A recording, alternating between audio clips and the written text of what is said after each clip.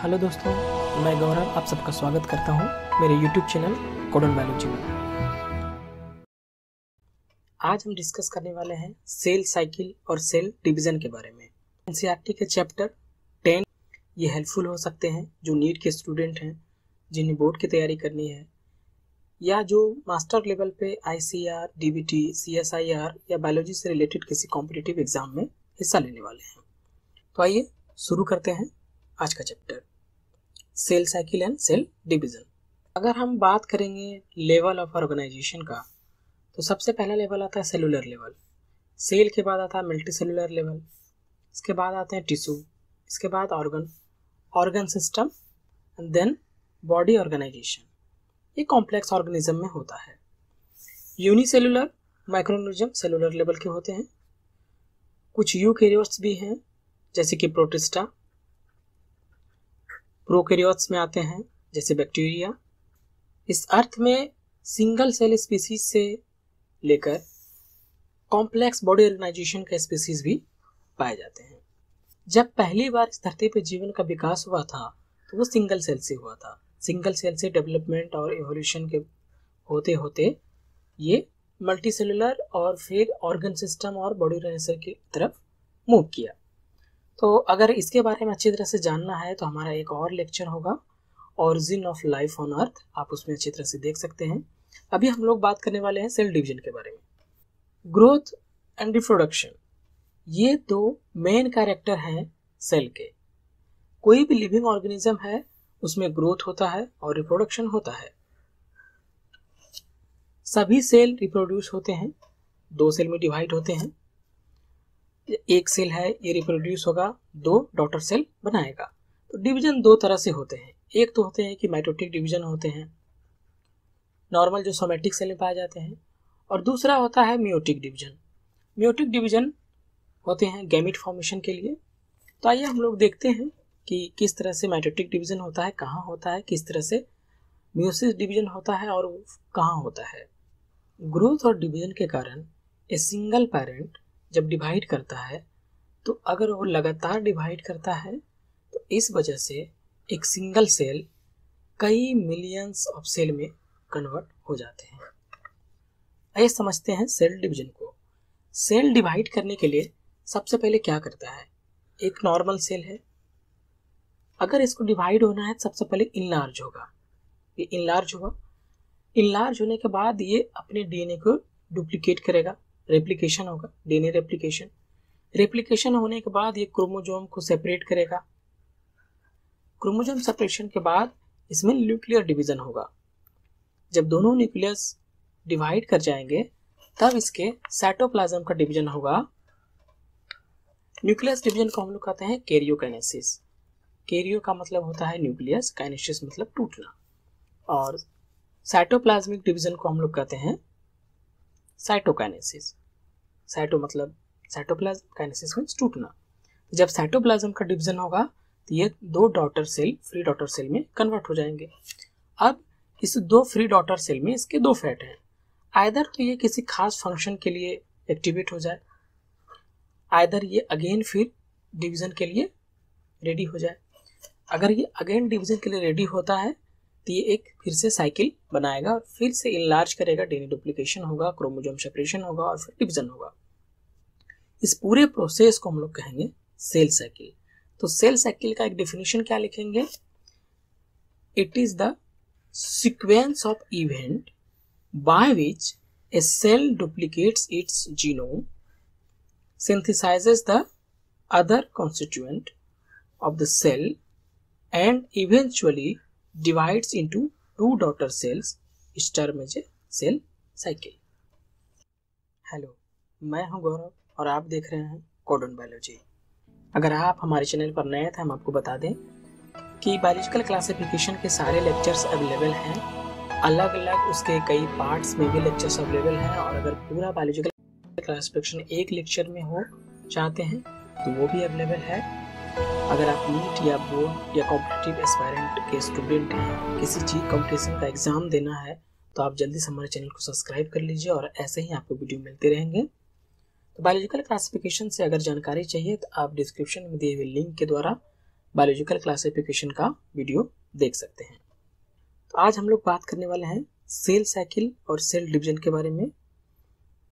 तो अब हम लोग आते हैं सेल डिवीज़न पे। तो क्या कंडीशन है सेल को डिवीज़न होने का? क्यों वो डिवाइड करता है? How do cell know when to divide तो सबसे पहले हम लोग देखेंगे क्या कंडीशन होता है, क्यों सेल डिवाइड करता है। तो इसके कई कारण हो सकते हैं। पहला कारण है कि ये रिप्लेस करता है ओल्ड या डेड या डैमेज सेल को। अगर कोई सेल डैमेज हो गया ओल्ड हो गए तो उसको रिप्लेस करता है। अगर ऑर्गेनिज्म ग्रो करता है, तभी सेल को डिवीज़न करना होता है। एक ह्यूमन बॉडी में nearly two trillion cell every day divide करते हैं। टू ट्रिलियंस एंड क्या आप जानते हैं कि तकरीबन thirty thousand to forty thousand dead skin cells every minute हम लोग लूज करते रहते हैं। द टोटल नंबर जो होते हैं किसी सेल का एक ऑर्गेनिज्म में वो साइज़ पे डिपेंड करते हैं। पर्सन का क्या साइज़ है? बट एक अनुमान लगा के बायोलॉजिस्ट ये बताते हैं कि ये इसका number around thirty seven trillion cell होते हैं। तो कैसे सेल को पता चलता है कि उसे कब डिवाइड करना है? तो इसके दो मुख्य कारण हैं। एक तो सेल रेगुलेशन ये डिवीज़न को रेगुलेट करता है कम्युनिकेशन के द्वारा। एक सेल दूसरे सेल से कॉम्बिनेट करते हैं केमिकल सिग्नल के द्वारा। उस केमिकल सिग्नल एक प्रोटीन है, जिसको हम लोग कहते हैं साइक्लिन इसके द्वारा कम्युनिकेशन करता है और उसको सिग्नल देता है कि डिवाइड अब करना है या स्टॉप हो जाना है। दूसरा है कि न्यूक्लियर साइटोप्लाज्मिक रेशियो इसको हम लोग एन बाय सी रेशियो से भी जानते हैं या एन सी रेशियो से भी कहते हैं। ये रेशियो है न्यूक्लियस के वॉल्यूम का और साइटोप्लाज्म के साइज़ का रेशियो है किसी सेल के अंदर। तो जब ये ratio N by C ratio disturb होता है तो सेल डिवीज़न स्टार्ट होता है। ये भी एक सिग्नल है सेल डिवीज़न स्टार्ट होने के लिए। अब सिंपल समझिए आपकी एक सेल है।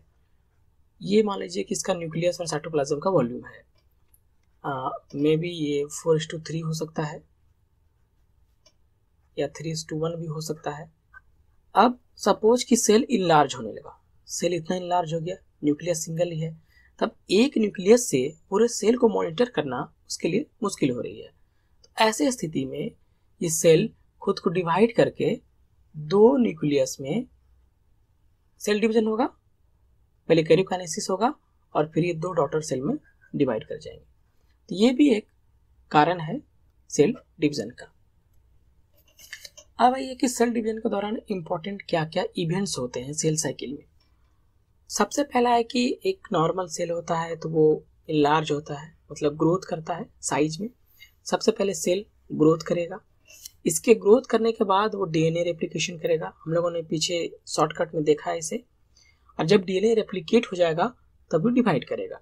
सेल डिवीज़न में दो फ़ेज़ आएँगे। सबसे पहले न्यूक्लियस का डिवीज़न होगा, जिसको हम लोग कहेंगे कैरियोकाइनेसिस कैरियो मतलब होता है न्यूक्लियस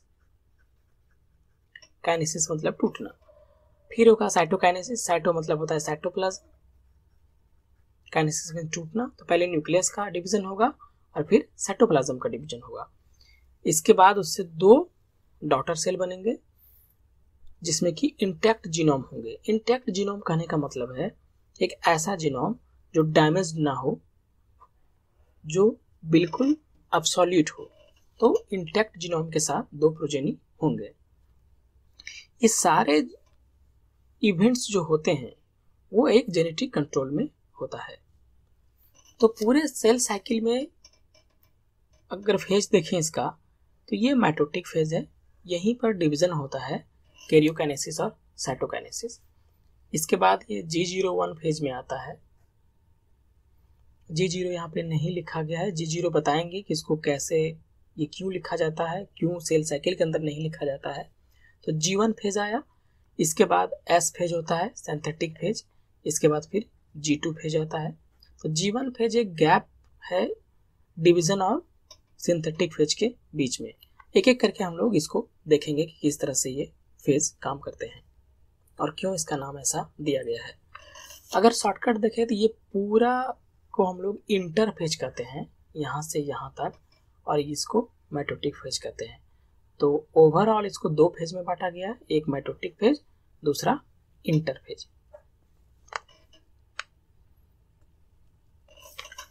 अब आते हैं सेल साइकिल के बारे में। हम लोग जो बात करेंगे अभी एक टिपिकल यूकैरियोटिक ह्यूमन सेल के बारे में बात करेंगे कि सेल साइकिल ह्यूमन में कैसा होता है। एक ह्यूमन सेल में सेल साइकिल अप्रॉक्सीमेटली 24 आवर के होते हैं। ये कम भी हो सकते हैं डिपेंड करता है ऑर्गेनिज्म पे। जैसे कि ईस्ट में सेल साइकिल सिर्फ़ 90 मिनट के होते हैं। इसको मेनली दो भागों में बांटा जाता है, एक इंटरफेज दूसरा mitotic phase M phase interphase approximately 95 percent time लेता है। यानी कि 24 आवर्स 23 आवर्स इंटरफेज होते हैं और सेल डिवीज़न में अप्रॉक्सीमेटली वन आवर का समय होता है। ये बहुत कम टाइम लेता है। आई फिगर में एक बार देखते हैं। ये यहाँ से यहाँ तक ये माइटोटिक फ़ेज़ है। यहाँ पे डिवीज़न होता है सेल डिवीज़न और ये पूरा यहाँ से यहाँ तक ये इंटरफेज है। इंटरफेज में कई स्टेज होते हैं। उसके क्रोमोजोम के बिहेवियर पे इसको तीन अलग अलग भागों में बांटा गया है। इंटरफेज को हम लोग रेस्टिंग फ़ेज़ भी कहते हैं। पहला है इसमें जीवन फ़ेज़ गैप वन फ़ेज़ दूसरा है एस फ़ेज़ सिंथेटिक फ़ेज़ तीसरा है जी टू फ़ेज़ और जी टू फ़ेज़ के बाद आता है एम फ़ेज़ जो कि डिवीज़न का फ़ेज़ है। जीवन फ़ेज़ जो होता है ये प्रिपरेटरी फ़ेज़ है, इसमें प्रिपेयर होते हैं सेल डिवाइस डिवीज़न के लिए। एस फ़ेज़ में सिंथेसिस होता है से डीएनए रेप्लिकेशन होता है और जी टू फ़ेज़ में प्रोटीन असेंबलिंग होता है प्रिपेयर होता है सेल डिवीज़न के लिए। तो हम लोग इसको एक एक करके पढ़ेंगे अब। एम फ़ेज़ जो स्टार्ट होता है न्यूक्लियर डिवीज़न से होता है, हम लोग पहले बात कर चुके हैं, उसमें पहला होता है कैरियोकाइनेसिस और दूसरा होता है साइटोकाइनेसिस अब इंटरफेज में हम लोग एक एक करके बात करते हैं। सबसे पहला है gap one phase G one phase G one phase एक इंटरवल है सिंथेटिक फ़ेज़ और डिवीज़न के बीच का। इसका बहुत महत्व नहीं है। इसमें बस ये होता है कि इसमें मेटाबोलिकली एक्टिव हो जाते हैं सेल मतलब खुद को इलाज करेगा मतलब प्रिपरेटरी फ़ेज़ है, खुद को प्रिपेयर करता है कि अब हमें डिवीज़न के तरफ़ मूव करना है। इसके बाद आता है सिंथेटिक फ़ेज़ सिंथेटिक फ़ेज़ हम लोग नाम से ही जानते हैं कि इसमें सिंथेसिस होगा। एनिमल सेल में एस फ़ेज़ के दौरान दो काम होते हैं। एक डीएनए रेप्लिकेशन होता है। दूसरा सेंट्रियल का डुप्लीकेशन होता है। क्यों हम कह रहे हैं कि एनिमल सेल क्योंकि प्लांट सेल में सेंट्रोजोम नहीं पाए जाते हैं। आप वेल नोन होंगे इस बात से कि plant cell higher plant cell में सेंट्रोजोम नहीं होते हैं। इसलिए हम बात करें यहाँ एनिमल सेल का। एनिमल सेल के दौरान एस पेज में डीएनए रेप्लिकेशन होता है और सेंट्रियल का डुप्लीकेशन होता है। ये दो काम होते हैं। डीएनए रेप्लिकेशन न्यूक्लियस में होता है और सेंट्रियल का डुप्लीकेशन साइटोप्लाज्म में होता है। अगर इनिशियल अमाउंट डीएनए का टू सी मान लेते हैं तो एस फ़ेज़ में ये बढ़कर फोर सी हो जाता है। हम नंबर ऑफ़ क्रोमोजोम की बात नहीं कर रहे हैं। नंबर ऑफ़ क्रोमोजोम चेंज नहीं होते हैं। अगर डिप्लॉयड है, उसमें टू एन है तो number of chromosome G one phase में भी टू एन ही होगा एस फ़ेज़ में भी टू एन ही होगा। नंबर ऑफ़ क्रोमोजोम चेंज नहीं होते हैं, सिर्फ़ अमाउंट ऑफ़ डीएनए डबल हो जाता है। G two phase G two phase में हम लोग जानते हैं कि प्रोटीन सिंथेसिस होगा और असेंबलिंग होगा। तो हम लोगों ने देख लिया G one phase preparatory phase था। इसके बाद एस फ़ेज़ आया जिसमें दो हुआ, एक डीएनए रेप्लिकेशन दो फ़ंक्शन हुए थे। दूसरा, अगर एनिमल सेल है तो सेंट्रियल का डुप्लीकेशन इसके बाद आया G two phase G two phase में प्रोटीन सिंथेसिस होता है और प्रिपेयर होता है माइटोसिस के लिए। अक्सर मैंने क्लास में देखा है कि बच्चे इस बात की शिकायत करते हैं कि किस तरह से ये नंबर ऑफ़ डीएनए डबल होता है और नंबर ऑफ़ क्रोमोजोम डबल नहीं होता है, इसको दोबारा से बताइए। इसीलिए मैं इसे फिर से दोबारा से डिस्कस कर दूँ। अगर आप समझ गए हैं तो बहुत अच्छी बात है। एक बार मैं इसे फिर से डिस्कस कर देता हूँ, समझाने का प्रयास करता हूँ एक्चुअली कैसे होता है ये। तो ह्यूमन के केस में हम लोग जानते हैं कि टू एन होते हैं फोर्टी सिक्स क्रोमोजोम होते हैं नॉर्मल कंडीशन में। अब मान लेते हैं कि टू एन बराबर हो गया number of chromosome forty six या तो twenty three pairs two C हो गया नॉर्मली अमाउंट ऑफ़ डीएनए एक नॉर्मल डिप्लोइड सेल में। एस फ़ेज़ में क्या होगा? डीएनए डुप्लीकेशन होगा। यहाँ क्रोमोजोम नहीं चेंज हो रहा। डीएनए डुप्लीकेट कर रहा है मतलब अमाउंट ऑफ़ डीएनए डबल हो जाएगा। अगर इनिशियल डीएनए टू सी है तो जब डुप्लीकेशन होगा उसका तो इंक्रीज होकर वो फोर सी हो जाएगा। बट यहाँ नमक क्रोमोजोम में कोई चेंज नहीं होगा। इसको हम लोग ऐसे समझ सकते हैं। सपोज़ मान लीजिए कि आपकी गाड़ी में 46 कैरी बैग है। घर ले जाने के लिए। अगर हर एक कैरी बैग में एक के का ऑब्जेक्ट आप कुछ ले जा रहे हैं तो 46 कैरी बैग है। तो टोटल नॉर्मल वर्क अगर आप करेंगे तो कितना के ले जाएँगे? 46 के G forty six carry bag में। अब यहाँ टू एन बराबर मान लेते हैं 46 या 23 पेयर ऑफ़ कैरी बैग है। तो अमाउंट कितना ले जा रहे हैं आप? एक के जी है एक कैरी बैग में 46 कैरी बैग है 46 के जी हुआ। अब इमीडिएट आपके घर से कॉल आता है और आपको कहता है कि सेम चीज़ें अपने कजिन फ्रेंड्स या सिस्टर किसी के लिए लेते आना है। अब आप क्या करेंगे? आपके पास सिर्फ़ 46 कैरी बैग है और आपको सब चीज़ फिर से उतना ही ले जाना पड़ेगा। तो आप डबल कर देंगे नंबर ऑफ़ ऑब्जेक्ट को। तो अमाउंट ऑफ़ ऑब्जेक्ट अब आपके पास डबल हो जाएगा, लेकिन आपके पास कैरी बैग 46 है। तो आप क्या करेंगे? एक कैरी बैग में दो के का ऑब्जेक्ट रखेंगे। तो 46 कैरी बैग है और हर एक में आप दो के का ऑब्जेक्ट रखे हैं। तो कैरी बैग अभी भी आपके पास कितना है? 46 है मतलब 23 पेयर्स हैं। अगर हम लोग मान लेते हैं एक कैरी बैग को एक क्रोमोजोम तो अभी भी 46 क्रोमोजोम ही हैं।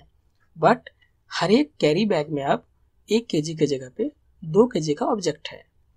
इसी तरह से हम लोग समझ सकते हैं क्रोमोजोम के केस में कि नंबर ऑफ़ क्रोमोजोम 23 पेयर्स ही होंगे 46 बट हर एक क्रोमोजोम में अमाउंट ऑफ़ डीएनए जो होगा, वो डबल हो जाएगा। इस तरह के क्वेश्चंस कॉम्पिटेटिव एग्ज़ाम में आते रहते हैं। ये सवाल मैंने लिया है गेट 2019 से लाइफ साइंस के बॉटनी सेक्शन में सवाल आया हुआ है। A cell in G one of interphase has 12 chromosome in anaphase 1 of meiosis the number of DNA molecule per cell will be कितना होगा? तो ये बहुत ही इजी सवाल है, बस इसको समझना है। तो नंबर ऑफ़ क्रोमोजोम है ट्वेल्व जीवन फ़ेज़ में है मतलब ये प्रिपरेटरी फ़ेज़ में है, ये प्रिपेयर हो रहा है मतलब एक नॉर्मल डिप्लॉइड सेल है। नंबर ऑफ़ क्रोमोजोम ट्वेल्व है। अब एस फ़ेज़ में ये डिवाइड डबल हो जाएगा इसका अमाउंट ऑफ़ डीएनए डबल हो जाएगा। और फिर ये डिवीज़न में जाएगा और फिर ये प्रोफेज में आएगा मेटाफेज में आएगा और फिर एनाफेज में जाएगा। तो नंबर ऑफ़ क्रोमोजोम ये नहीं पूछ रहा, ये पूछ रहा है the number of DNA molecule per cell यानी कि अमाउंट ऑफ़ डीएनए तो एस फ़ेज़ में जब ये आया होगा तो इसका अमाउंट ऑफ़ डीएनए डबल हो गया होगा। मतलब कि इसमें 24 हो जाएगा अमाउंट ऑफ़ डीएनए इसका आंसर अभी हम लोगों ने चर्चा किया जी वन फ़ेज़ के बारे में एस फ़ेज़ के बारे में जी टू फ़ेज़ के बारे में. ये जी ज़ीरो फ़ेज़ क्या है? ये छूटा हुआ चलिए आइए इसको डिस्कस कर लेते हैं कि जी ज़ीरो फ़ेज़ क्या है, इसका क्या रूल है? जी ज़ीरो फ़ेज़ को क्वेसेंट स्टेज भी कहते हैं. एडल्ट एनिमल में कुछ ऐसे सेल्स होते हैं जो डिवीज़न नहीं करते. जैसे कि हट सेल डिवीज़न नहीं करते। और बहुत से ऐसे सेल्स होते हैं जो सिर्फ़ और सिर्फ़ ओकेजनली डिवाइड करते हैं। जब काम पड़े, जैसे कि रिप्लेस करना हो, या सेल डैमेज हो गया हो इंजुरी हो गया हो सेल डेथ हो, तभी डिवाइड करते हैं। तो ऐसे सेल्स जो डिवीज़न के बाद, जैसे कि मेटोटिक डिवीज़न हो गया, और वो स्पेसिफाई हो गया या अब तो उसको डिवाइड नहीं करना है तो वो जी ज़ीरो फ़ेज़ में चले जाते हैं। और जिनको डिवाइड करना होता है, वो जी वन फ़ेज़ में जाते हैं। जो जी ज़ीरो फ़ेज़ में जाते हैं, वो इनएक्टिव हो जाते हैं।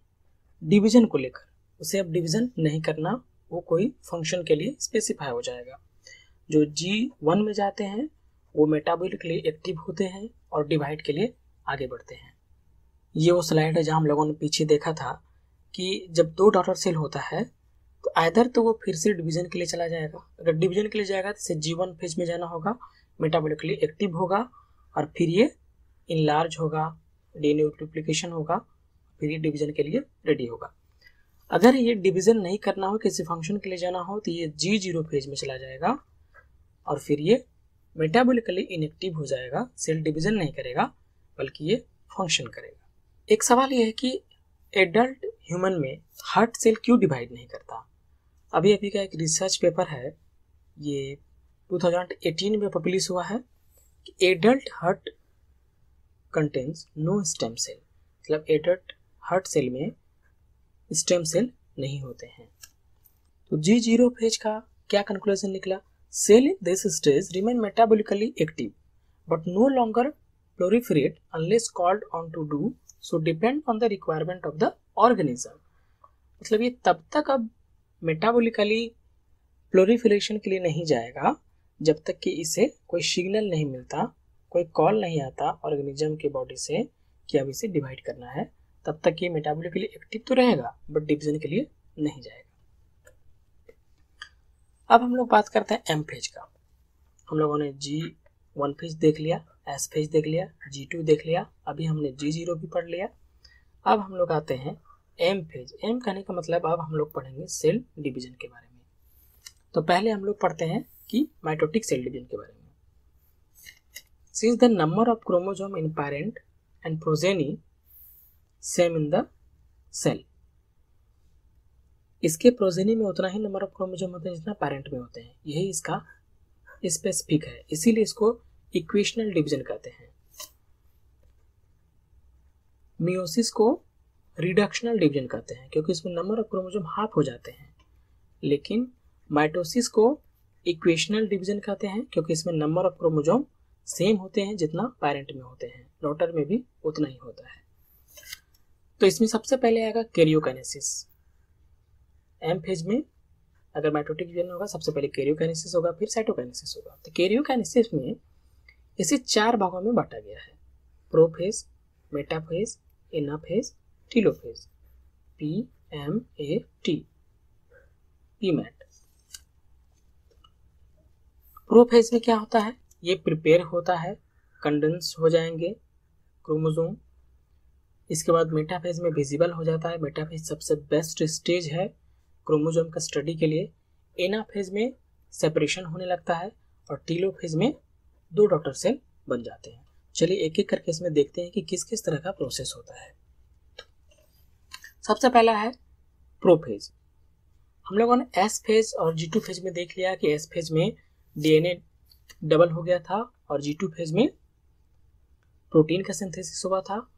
और एक और चीज़ था जिसका सिंथेसिस हुआ था एनिमल सेल में, वो था सेंट्रियल एस फ़ेज़ में इसका डुप्लीकेशन हुआ था सेंट्रिकल का। तो प्रो फ़ेज़ का क्या पहचान है? इसके दो पहचान है। पहला, कि initiation of condensation of the chromosomal material chromosomal material जो है वो कंडेंसेशन होने लगेगा उसका।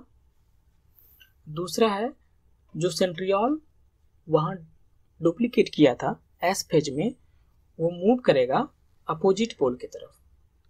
दोनों अपोजिट पेल पे सेंट्रियल मूव करने लगेगा। जब प्रोफेज कंप्लीट होने वाला रहेगा तो कैसे पहचानेंगे प्रोफेज कंप्लीट होने वाला है? उसके कुछ कैरेक्टरिस्टिक फीचर हैं।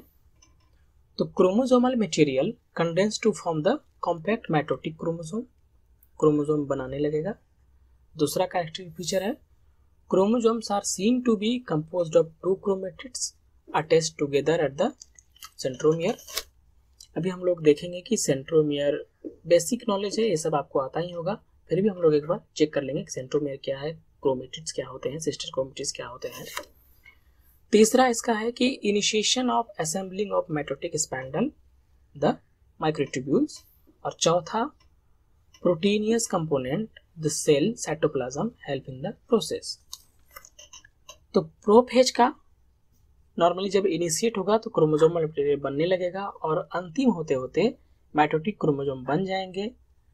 दोनों पोल पर सेंट्रियोल पहुँच जाएँगे और असेंबलिंग होना शुरू होगा स्पैंडल का और या माइक्रोट्यूब्यूल्स का।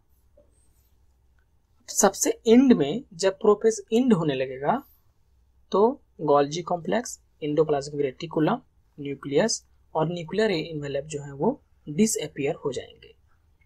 मेटाफेज मेटाफेज का कैरेक्टरिस्टिक फीचर ये है कि इसमें न्यूक्लियर एनवेलप का डिसइंटीग्रेशन होने लगता है और इसमें एक क्रोमोजोम स्पेशल क्रोमोजोम फॉर्मेशन होता है सबसे ज़्यादा स्टडी के लिए हम लोग क्रोमोजोम का अगर स्टडी करना होता है तो हम लोग मेटाफेज का क्रोमोजोम को यूज़ करते हैं। ये मेटाफेज का क्रोमोजोम है। इसको हम लोग कहते हैं काइनेटोकोर यह है सेंट्रोमियर इस, यह है क्रोमेटिड्स ये टीलोमियर है। काइनेटोकोर का क्या फ़ंक्शन है कि ये काइनेटोकोर ये क्रोमोजोम है। यहाँ पे काइनेटोकोर होता है। जब स्पैंडल फाइबर इससे अटैच्ड होते हैं, जब खींचते हैं जब सेपरेशन होने लगता है एना फ़ेज़ में स्पैंडल फाइबर यहीं से अटैच होते हैं और सेपरेशन होता है। इस फ़ेज़ में क्लियरली माइक्रोस्कोप में अगर आप देखेंगे तो क्रोमोजोम आप देख पाएँगे। इसीलिए मॉर्फोलॉजिकल स्टडी अगर क्रोमोजोम का करना होता है तो हम लोग इसी स्टेज में करते हैं। मेटाफेज क्रोमोजोम दो क्रोमेटिड सिस्टर क्रोमेटिड से बने हुए होते हैं। सिस्टर क्रोमेटिड इसको कहते हैं हम लोग जो एक दूसरे से जुड़ा होता है सेंट्रोमेयर के कारण। हम लोगों ने इसका स्ट्रक्चर देखा है। दो सिस्टर क्रोमेटिड्स हैं जो सेंट्रोमेयर के कारण जुड़ा होता है। और इसमें एक और स्ट्रक्चर होता है काइनेटोकोर्स यहाँ लिखा हुआ है काइनेटोकोर ये क्या है? सेंट्रोमेयर के सरफेस पर एक स्ट्रक्चर होता है, जिसको काइनेटोकोर कहते हैं। और ये स्पैंडल फाइबर जो होते हैं, वो अटैचमेंट के लिए हेल्पफुल होते हैं। तो मेटाफेज का की फीचर क्या है? मेटाफेज का की फीचर है स्पैंडल फाइबर अटैच टू का काइनेटोकोर ऑफ़ क्रोमोजोम काइनेटोकोर में अटैच होने लगेगा। Chromosome are move to the spindle equator and get aligned along metaphase plate through spindle fibre to both poles metaphase हम लोग well known है इस stage के लिए कि सभी जो है यहाँ फिगर में देख सकते हैं इक्वेटर पे जमा हो जाता है। सभी क्रोमोजोम स्पैंडल फाइबर से जुड़ गए हैं और इक्वेटर एक प्लेट बनाता है, इसको हम लोग कहते हैं मेटाफेज प्लेट नेक्स्ट है एनाफेज एनाफेज में क्या होता है कि जो बीच प्लेट में बन गया था, यहाँ पर मेटाफेज प्लेट में, वो भी स्प्लिट होते हैं, दोनों पोल की तरफ़। टू डॉटर क्रोमेटिस आपस में टूट जाएँगे। सबसे बड़ा अंतर जो माइटोसिस और म्योसिस में होता है, वो एनाफेज में ही होता है। एनाफेज अगर मैटोटिक का है तो इसमें सेंट्रोमियर डिवाइड करते हैं। अभी इसमें चार क्रोमेटिड्स थे, दो सिस्टर क्रोमेटिड्स थे। इसमें सेंट्रोमियर जो आपस में था, ये आपस में स्प्लिट हो गया। आधा इस पर चला गया, आधा उस पर चला गया। यही म्यूसिस में नहीं होता है, जिसकी वजह से वहाँ नंबर ऑफ़ क्रोमोजोम हाफ़ हो जाते हैं। आगे हम लोग देखेंगे म्यूसिस में किस तरह से नंबर ऑफ़ क्रोमोजोम हाफ़ हो जाते हैं। तो अपोजिट पोल की तरफ़ एनाफेज में चला जाता है। तो इसका कैरेक्टरिस्टिक फीचर ये है कि centromere split and chromatids separate centromere split होगा क्रोमेटिड्स सेपरेट होंगे chromatids move to the opposite pole बस इतना ही, इसका एनाफेज में सेपरेशन का ही काम होता है। नेक्स्ट फ़ेज़ है टीलोफेज टीलोफेज में दो डॉटर सेल बनेंगे। Chromosome that rest their respective poles deconstruct and lost their individuality The individual chromosome can no longer be seen and chromatids material tends to collect in a mass in two plates. यहाँ से ये एक अलग plate बन गया, ये एक अलग प्लेट बन गया, दोनों डिवीज़न अब चूँकि टीलोफेज में अब साइटोकाइनेसिस होना होगा कैरियोकाइनेसिस हो गया न्यूक्लियस डिवाइड हो गया, अब साइटोकाइनेसिस होगा इस स्टेज का जो की इवेंट है, वो है chromosome cluster at opposite spindle pole. Nuclear envelope assemble around the chromosomes. Nucleus golgi apparatus and ear reformed अब ये अब न्यूक्लियस का डिवीज़न हो गया है। अब असेंबलिंग होगा न्यूक्लियर एनवेलप आएँगे और इसके बाद सभी रीअपियर होंगे न्यूक्लियोलस गोल्जी इंडोप्लाज्मिक रेटिकुलम और इसके बाद फिर साइटोप्लाज्म का डिवीज़न होकर दो डॉटर सेल में कन्वर्ट हो जाएगा। तो आते हैं साइटोकाइनेसिस पे। साइटोकाइनेसिस मतलब division of cytoplasm animal cell के केस में जब प्लाज्मा मेम्ब्रेन पर फ्यूरो का अपेरियंस हो जाता है तो हम लोग ये मानते हैं कि साइटोकाइनेसिस हो गया है। प्लांट के केस में वॉल फॉर्मेशन स्टार्ट होता है सेल के सेंटर से, जहाँ पे प्लेट होता है लेटरल वॉल बनता है। The formation of new wall begin with the formation of simple precursor called the cell plate सबसे पहले ये जब डिवीज़न होता है तो यहाँ पे सेल प्लेट का फॉर्मेशन होता है मिडिल लेमिला में। दो एडजस्टेंट सेल के बीच में जो मिडिल लेमिला होता है, वो सेल प्लेट से बनता है। साइटोकाइनेसिस के टाइम पे जब डिवीज़न होने लगता है साइटोप्लाज्म का तो ऑर्गेनल लाइक माइटोकॉन्ड्रिया प्लास्टिस ये डिस्ट्रीब्यूट होते हैं दोनों डॉटर सेल में। किसी किसी ऑर्गेनिज्म में कैरियोकाइनेसिस होने के बाद तुरंत साइटोकाइनेसिस नहीं होता है और ऐसे केस में, मान लीजिए सेल है, इसमें कैरियोकाइनेसिस हो गया, दो न्यूक्लियस बन गए, लेकिन इसमें साइटोकाइनेसिस नहीं हो पाया, दोनों सेल का साइटोप्लाज्म डिवाइड नहीं हुआ तो ये एक ही सेल के अंदर साइटोप्लाज्म में दो न्यूक्लियस होंगे इसको सिंसिटियम सेल कहते हैं। अगर आपने मेरा बायोलॉजिकल क्लासिफिकेशन का लेक्चर देखा है तो उसमें हमने बताया था कि फंगस के केस में जब हाइफा में सेपरेशन नहीं होता सेप्टा नहीं होता तो कई न्यूक्लियस होते हैं उसमें, इस तरह से। और वैसे सेल को जिसमें एक साइटोप्लाज्म में कई न्यूक्लियस होते हैं, उसको हम लोग कहते हैं साइनोसाइटिक सेल या साइनोसाइटिक कंडीशन एनिमल के केस में इसको सिंसिटियम सेल कहते हैं। प्लांट का अगर एग्जांपल लें तो लिक्विड इंडोस्पम इन कोकोनट, ये इसमें कैरियोकाइनेसिस तो होता है, लेकिन साइटोकाइनेसिस नहीं होता तो मल्टी न्यूक्लिएटेड कंडीशन राइज हो जाता है। अब माइटोसिस का सिग्निफिकेंस क्या है? सबसे पहला सिग्निफिकेंस है माइटोसिस का कि ये एक इक्वेशनल सेल डिवीज़न है। नंबर ऑफ़ क्रोमोजोम डॉटर में उतना ही होते हैं जितना कि पेरेंट में होते हैं। और ये डिवीज़न रेस्ट्रिक्टेड होते हैं डिप्लॉयड सेल में। बट कुछ लोअर प्लांट्स होते हैं और कुछ इंसेक्ट्स होते हैं जिसके हैप्लॉयड में भी माइटोसिस का डिवीज़न होता है। माइटोसिस से डिप्लॉयड डॉटर प्रोड्यूस होते हैं। ये हमेशा सोमैटिक सेल में होता है। और आइडेंटिकल होते हैं जेनेटिक कॉम्प्लीमेंट होते हैं आइडेंटिकल होते हैं। जिस तरह से पेरेंट होते हैं, उतना ही क्रोमोजोम होता है और उसका जेनेटिक कंपोनेंट उसी तरह से आइडेंटिकल होते हैं।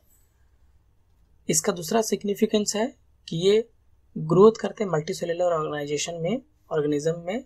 ये ग्रोथ करते हैं, अगर ग्रोथ होना है तो माइटोसिस करना पड़ेगा। म्यूसिस सिर्फ़ गैमिट फॉर्मेशन के लिए होता है। जितना अदरवाइज़ जितना भी डिवीज़न होता है वो माइटोसिस होता है। Cell growth result in the disturbing the ratio between the nucleus and the cytoplasm ये हम लोगों ने बात कर लिया है, ये कह रहे हैं एन बाय सी रेशियो के बारे में न्यूक्लियर वॉल्यूम और साइटोप्लाज्मिक साइज़ के बारे में। अगर ये डिस्टर्ब होता है तो सेल डिवीज़न होना ज़रूरी है। क्योंकि एक ही सेल अगर इनलार्ज हो जाए और छोटा न्यूक्लियस हो तो उसको कंट्रोल नहीं किया जा सकता है। इस वजह से जब सेल इनलार्ज हो जाते हैं तो उसमें न्यूक्लियस का डिवीज़न होता है और ये सेल डिवीज़न की तरफ़ मूव करता है।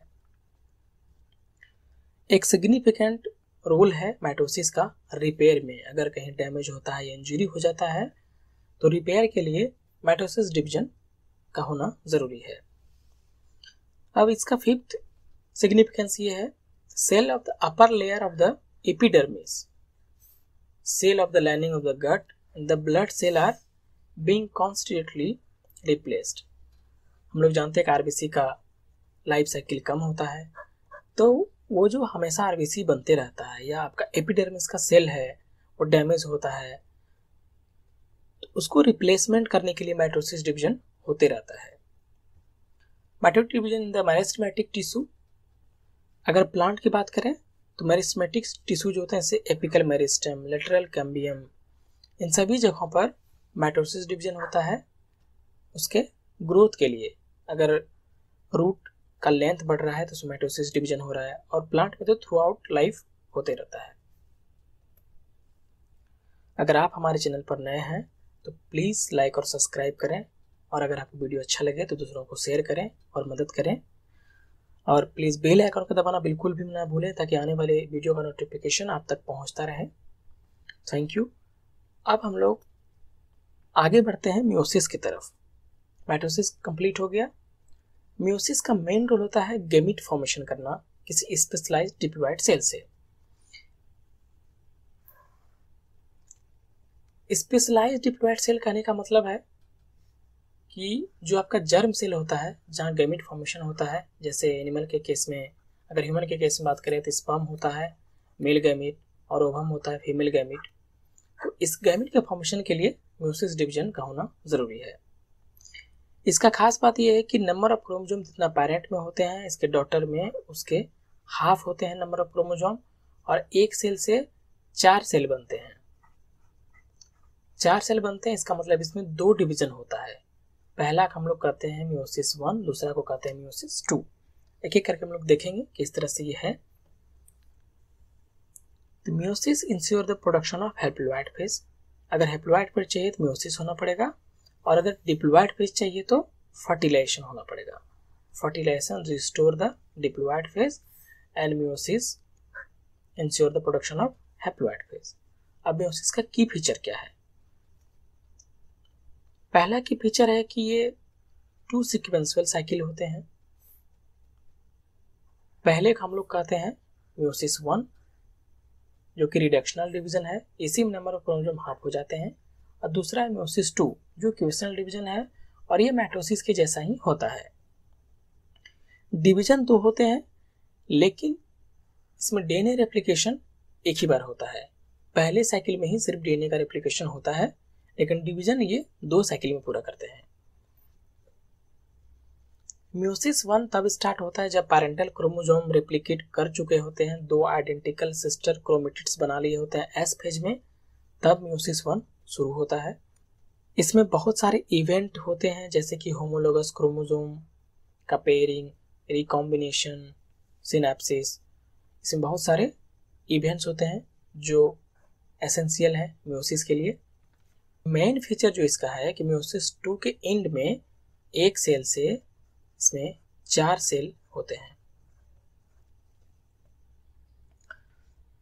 आइए कुछ टर्म को डिस्कस कर लेते हैं, जिसका म्यूसिस में यूज़ होगा अभी। अगर आप टर्म अच्छे से समझ लिए होंगे तो उधर आपको म्यूसिस समझने में ज़्यादा आसानी होगी।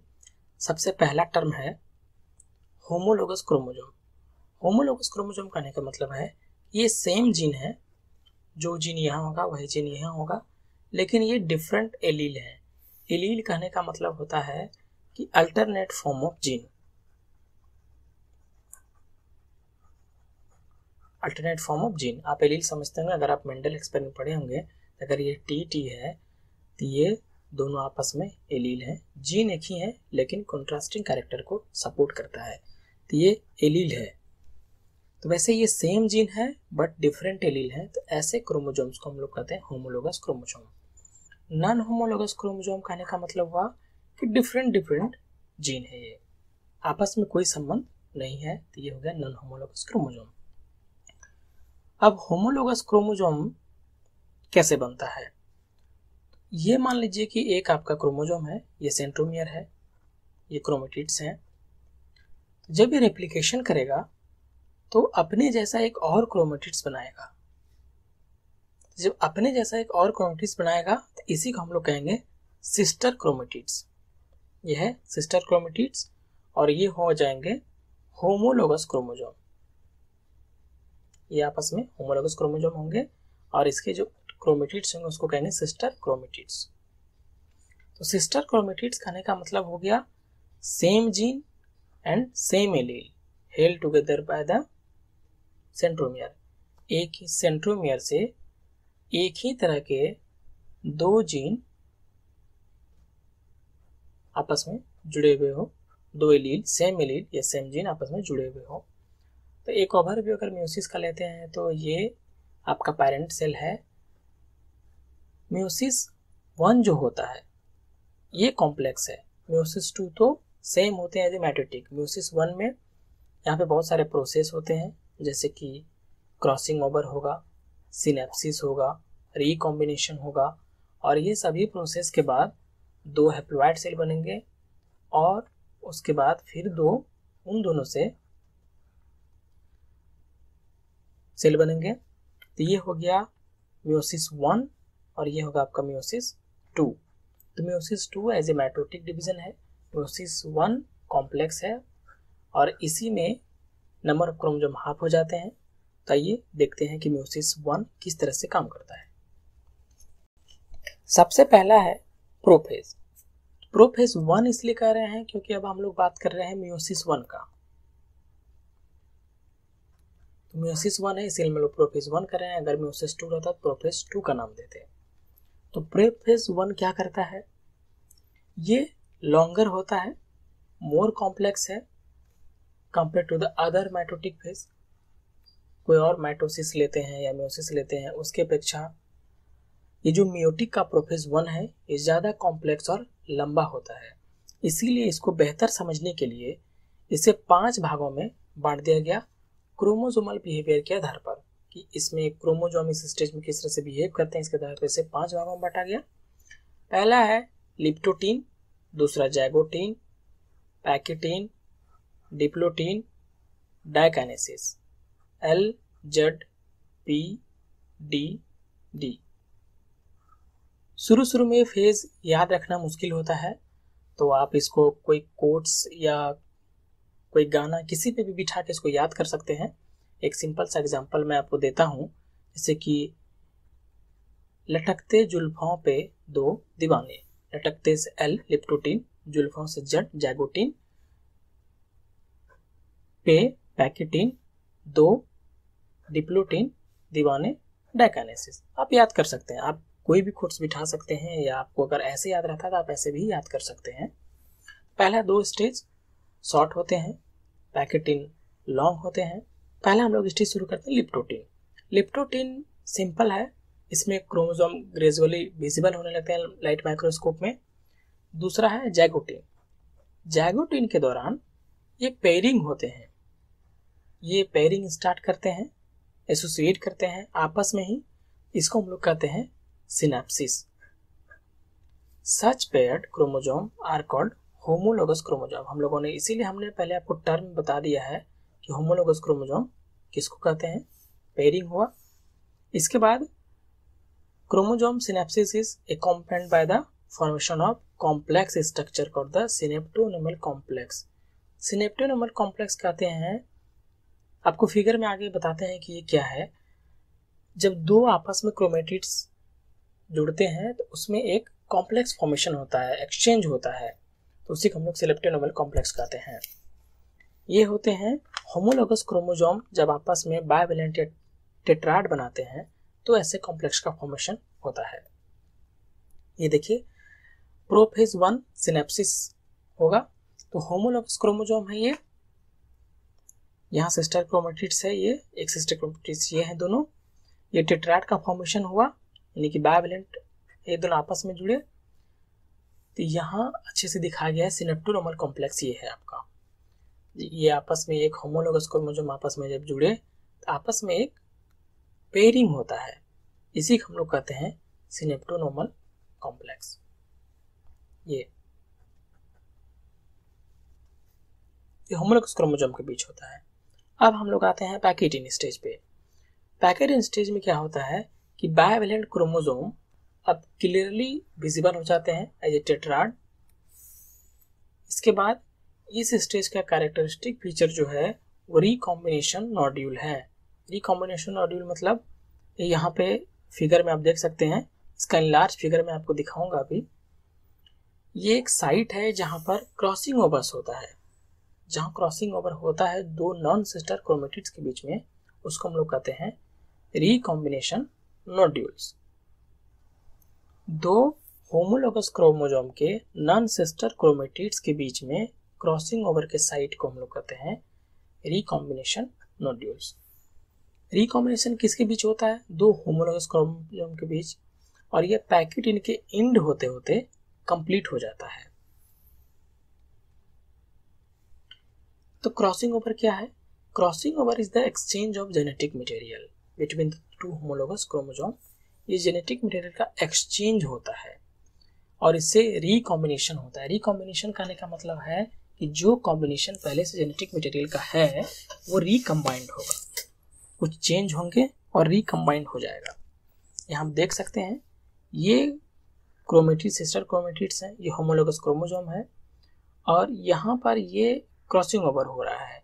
ये एक क्रोमेटिड इसका और ये क्रोमेटिड इसका। नॉन सिस्टर क्रोमेटिड्स आपस में क्रॉसिंग ओवर कर रहे हैं। फिगर को इनलार्ज करके देखते हैं। ये यहाँ पर ये क्रॉसिंग ओवर है। एक से, ये दोनों सिस्टर क्रोमेटिड्स हैं बट ये सिस्टर क्रोमेटिड्स नहीं है। एक क्रोमेटिड इसका और एक क्रोमेटिड्स इसका। ये आपस में नॉन सिस्टर क्रोमेटिड्स दो होमोलोगस क्रोमोजोम के बीच में क्रॉसिंग ओवर हो रहा है। इसके बाद रीयूनियन होगा। मतलब इसका कुछ भाग इसमें चला जाएगा इसका कुछ भाग इसमें चला जाएगा। इसी का हम लोग कहते हैं रिकॉम्बिनेशन मतलब ये एक अलग कॉम्बिनेशन होगा। अब हम लोग देखते हैं कि रिकॉम्बिनेशन नोड्यूल क्या है। ये प्रोटीन एक्सिस है। ये आपका सिस्टर क्रोमेटिड्स है। ये दूसरा सिस्टर दूसरे क्रोमोजोम का है। ये दूसरे क्रोमोजोम का है। यानी कि ये दोनों आपस में नॉन सिस्टर क्रोमेटिड्स हैं। और जब नॉन सिस्टर क्रोमेटिड्स यहाँ देखेंगे, जब क्रॉसिंग ओवर करता है, आपस में जुड़ते हैं, इसी तरह का एक कॉम्प्लेक्स बनता है, जिसमें एक सेंट्रल एलिमेंट होते हैं और ये ट्रांसवर्स तरीके से इस तरह से सेंट्रल रीजन बनाता है। तो जहाँ पर क्रॉसिंग ओवर होता है, उसी को हम लोग कहते हैं रिकॉमेशन नोड्यूल्स नेक्स्ट है डिप्लोटिन स्टेज डिप्लोटिन स्टेज को रिकॉग्नाइज करने का सबसे इजी तरीका है कि यहाँ पे सिनेप्टिनोमल कॉम्प्लेक्स डिजॉल्व हो जाते हैं, नहीं दिखेंगे। और जो टेंडेंसी था रिकॉम्बिनेशन का, वो भी सेपरेट हो चुके होंगे बाइवेलेंट से। सिर्फ़ क्रॉसिंग ओवर का जो साइट है, वो एक्सचेंज हो चुके होंगे। अब उसमें जो एक्स शिफ्ट स्ट्रक्चर होता है, उसको हम लोग कहते हैं काइजमाटा नीचे फिगर में आप देख सकते हैं, ये जो एक्स शिफ्ट स्ट्रक्चर है इसको हम लोग काइजमाटा कहते हैं काइजमा और अगर वो साइड्स की बात करें, कुछ वर्टिब्रेट का जो ओ साइट्स होता है, उसमें डिप्लोटीन कई महीने के होते हैं या सालों लग सकते हैं। ये पेरेंटल होमोलोगस क्रोमोजोम है, आप देख सकते हैं। ये मेटरनल एक ये क्रोमोजोम है, एक ये क्रोमोजोम है। ये आपस में दोनों सिस्टर हैं सिस्टर क्रोमेटिड्स बट ये दोनों आपस में नॉन सिस्टर क्रोमेटिड्स हैं और क्रॉसिंग ओवर इन्हीं दोनों के बीच होगा नॉन सिस्टर क्रोमेटिड्स के बीच क्रॉसिंग ओवर होगा और जेनेटिक मटेरियल का एक्सचेंज हो जाएगा। Next, the final stage of meiotic prophase is the diakinesis diakinesis को पहचानने का सबसे अच्छा तरीका है इसमें काइजमाटा नहीं दिखेगा। टर्मिनलाइजेशन ऑफ़ काइजमाटा यही इसका पहचान है। काइजमाटा खत्म हो जाएगा और ये साइटोकाइनेसिस करने लगेगा। During this phase the chromosome are fully condensed and meiotic spindle is assembled to prepare the homologous chromosome for separation इसमें सेपरेशन शुरू हो जाएगा। By the end of diakinesis जब ये अंत होने वाला रहेगा डायकानेसिस का the nucleus disappear nuclear envelope are also break down diakinesis represent the transition to metaphase diakinesis कहने का मतलब है कि प्रोफेज अब लास्ट होने वाला है और ये मेटाफेज में इंटर करेगा। तो मेटाफेज में इंटर करने के लिए ये क्रोमोजोम कंप्लीटली विजिबल होने लगेंगे। सब कुछ न्यूक्लियस डिसअपियर हो जाएगा। न्यूक्लियर इनवेलप ब्रेक डाउन हो जाएँगे और मेटाफेज में इंटर होगा। तो ये है मेटाफेज वन। तो मेटाफेज वन करने का मतलब है कि म्यूसिस वन का मेटाफेज है ये। बायोवलेंट क्रोमोजोम अलाइन होंगे इक्वेटोरियल प्लेट पे, जिसको हम लोग कहते थे metaphase plate The microtubules from the opposite poles of the spindle attach to the pair of homologous chromosome. हम लोग पिछला देख चुके हैं माइटोसिस में कि मेटाफेज में वो बीच में आ जाते हैं इक्वेटोरियल प्लेट पे आ जाते हैं। अब है एनाफेज एनाफेज में सेपरेशन होगा। The homologous chromosome separates while sister chromatids remain associated at their centromere. Mitosis में सेंट्रोमियर डिवाइड हो गया था। माइटोसिस में सेंट्रोमियर डिवाइड हो गया था। हमने वहाँ बताया था कि मेन डिफरेंस जो म्योसिस और माइटोसिस में होता है, वो एना फ़ेज़ में ही होता है। यहाँ पर सेंट्रोमियर डिवाइड नहीं कर रहा है। यहाँ पर सिस्टर क्रोमेटिड्स साथ में हैं, बस वो अलग हो जाएँगे। तो टीलो फ़ेज़ में nuclear membrane and nucleus reappear होने लगेगा। साइटोकाइनेसिस शुरू हो जाएगा और इससे डायड बनाएगा मतलब दो सेल बनाएँगे।